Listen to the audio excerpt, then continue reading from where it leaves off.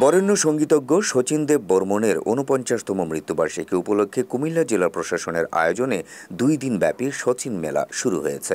বুধবার বিকেলে নগরীর চরথায় শিল্পীর পৈতৃক বাড়িতে বেলুন উড়িয়ে মেলার উদ্বোধন করেন কুমিল্লা জেলা প্রশাসক মোহাম্মদ আমিরুল কায়সার। এর আগে নগরের ইউসুফ হাই স্কুল থেকে বের হয়ে একটি বর্ণাঢ্য শোভাযাত্রা শচীনের বাড়িতে এসে শেষ হয়। জেলা প্রশাসকের সভাপতিত্বে আলোচনা সভায় বক্তব্য রাখেন কুমিল্লার বিশিষ্টজনেরা মর্তরে রাজ্য ছেড়ে সুরের সাম্রাজ্যে।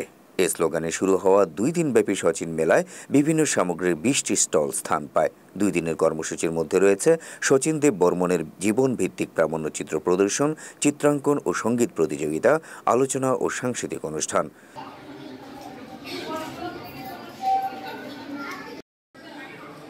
উনিশশো ছয় সালের পহেলা অক্টোবর কুমিল্লার চর্থায় ত্রিপুরার রাজপরিবারে জন্মগ্রহণ করেন সচিন।